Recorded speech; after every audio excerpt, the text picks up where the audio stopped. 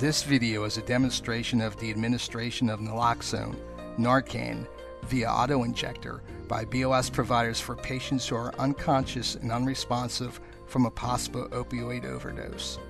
BLS providers will provide an adequate airway and ventilatory support for the patient prior to and after administration of the medication. The Narcan autoinjector is known by the brand name Evzio and comes in a dose of 0.4 milligrams. The autoinjector utilizes visual and voice prompts for administration.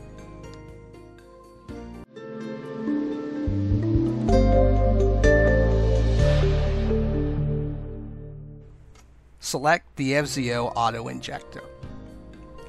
Using aseptic technique, prep the skin with an alcohol wipe using widening circular motions while applying to the skin.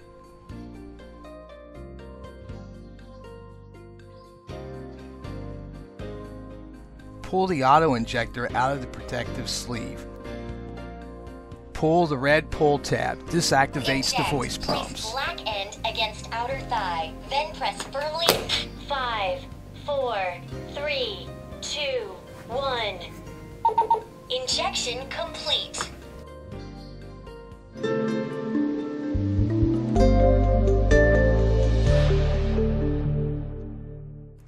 Through to close technique does not allow for prepping of the skin before injection.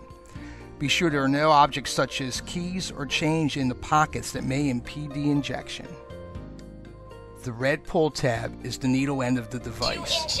Be sure it is facing the patient and not thigh. your hand. Then press first. Five, four, three, two, one.